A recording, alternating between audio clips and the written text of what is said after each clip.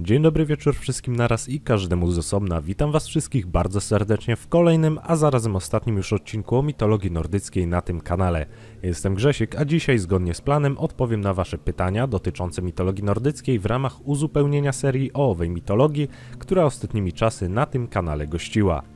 Oczywiście na wstępie dodam, że byłoby mi niezmiernie miło, gdybyście zajrzeli na moje pozostałe kanały, czyli Grzesiek Biskowski, który opowiada o wykorzystywaniu mózgu do lepszych celów niż kłótnie polityczne, jak również Grzenio TV, gdzie gram w różne gierki, a na chwilę obecną uczę się budować wioskę w Minecrafcie. Linki znajdziecie w komentarzu i przechodzimy do odcinka. Pytanie pierwsze. Jakie są mało znane i ciekawe potwory? Prawdę powiedziawszy, ciężko powiedzieć, bo mitologia nordycka nie jest aż tak bardzo popularna jak chociażby mitologia grecka, tak więc wiele rzeczy jest mało znanych, a to, czy coś jest ciekawe, czy nie, jest kwestią raczej subiektywną, ale mógłbym stwierdzić, że całkiem ciekawy jest Fafnir, czyli krasnolud, który przez swoją chciwość został przeklęty i zamienił się w smoka. Dodatkowo trole wywodzą się z mitologii nordyckiej, a ciekawym i dobrze wykorzystywanym ostatnimi czasy zamiennikiem dla zombiaków są nordyckie draugry, którymi po śmierci mogli stać się ludzie źli lub chciwi jeszcze za życia. Wtedy istniała szansa, że bez poprawnego pochowania mogli powstać z grobu jako właśnie draugry, czyli niezwykle silne, zmieniające kształt i rozmiar, posługujące się dziwną magią i potrafiące wchodzić do ludzkich snów umarlaki z niezwykłym zamiłowaniem do pochłaniania ludzi w całości lub po kawałku. Pytanie drugie. Ekwipunek Tora. W gruncie rzeczy mitologia nordycka wspomina o trzech atrybutach boga piorunów. Oczywiście najważniejszy jest młot Mjolnir, o którym wspominałem, o ile mnie pamięć nie myli w odcinku o Torze i Lokim. Następnie mamy pas Megingjord, którego nazwa dosłownie oznacza pas siły i tym w rzeczywistości jest, bo podwaja siłę Tora, oraz rękawice Jarngreip, bez których dzierżenie Mjolnira byłoby niemożliwe.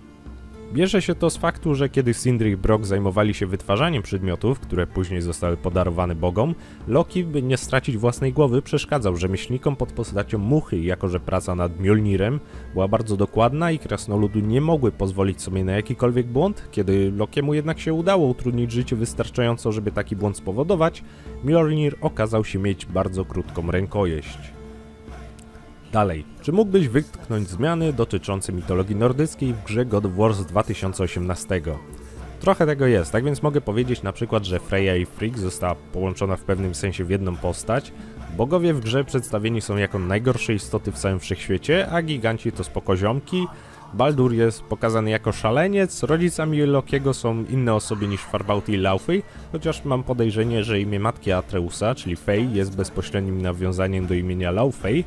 No i w grze podróżowanie między światami wydaje się być całkiem proste i na dodatek całe przedsięwzięcie ma swoje centrum w Midgardzie, gdzie w mitologii nordyckiej to było cholernie trudne, a taki Bifrost był jedynie mostem łączącym ze sobą Asgard i Midgard, a nie wszystkie światy. A, no i w mitologii nordyckiej oczywiście nie było Kratosa. Należy jednak pamiętać, że istnieje coś takiego jak wizja artystyczna, a gra nie jest i nigdy nie miała być odzorowaniem mitologii nordyckiej jeden do jednego.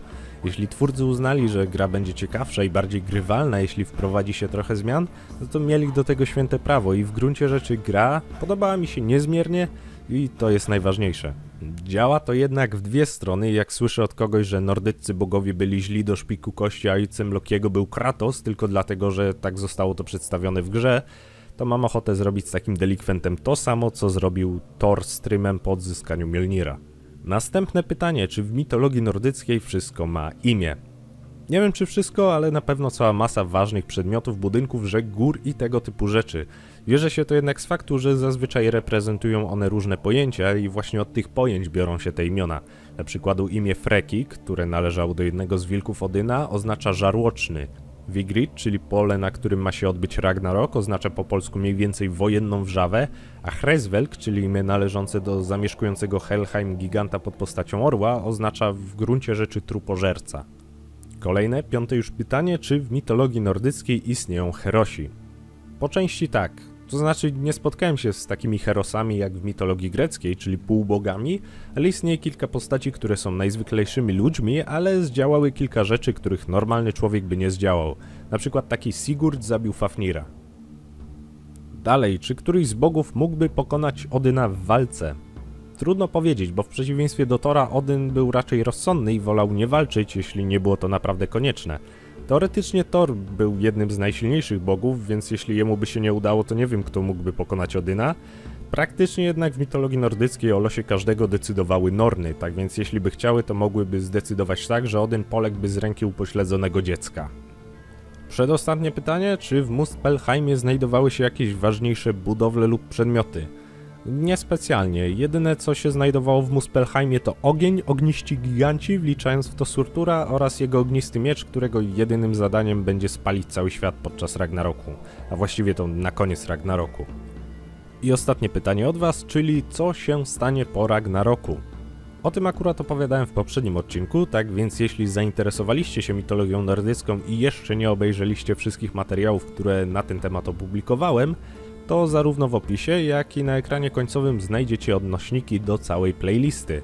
Łącznie z tym odcinkiem będzie to niecała godzina materiałów, tak więc po tym czasie powinniście zrozumieć temat na tyle, by móc dalej samodzielnie znajdować informacje, które akurat Was zainteresują. Jeśli ktoś się jeszcze nie domyśla, to już jest koniec tego odcinka, właściwie zbliżamy się do końca. Jak zawsze mam nadzieję, że się spodobało. Za niedługo pojawią się dwa nowe odcinki o potworach i zabieramy się za świat stworzony przez Johna Ronalda Reuela Tolkiena, w około 10-odcinkowej serii. Jednakże odcinki nie pojawią się za szybko, ponieważ będę musiał sobie trochę odświeżyć moją wiedzę na ten temat, tak więc będę musiał przeczytać Władcę Pierścieni, Hobbita, Silmarillion, niedokończone opowieści i może uda mi się jeszcze załatwić Dzieci Hurina, tak więc trochę to potrwa, ale mam nadzieję, że nie dłużej niż za miesiąc pojawi się pierwszy materiał z mitologii tolkienowskiej.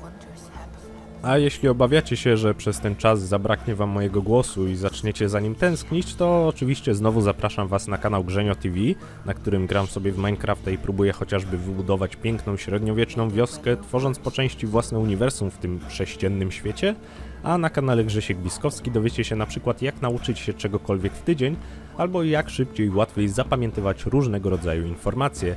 Jeśli się uda tam dobić do 200 subskrypcji, to wrzucę jeszcze materiał o jednym z największych błędów podczas nauki lub treningu, tak więc chyba warto zajrzeć. I tym jakże chamsko-reklamowym akcentem kończymy ten materiał. Widzimy się w następnym odcinku, który pojawi się w niedalekiej przyszłości, tak więc polecam zasubskrybować kanał, żeby nie przegapić materiału zanim jeszcze YouTube zakopie go w czeluściach filmów z niskim watchtime'em, a do tego czasu trzymajcie się ciepło, no i cześć!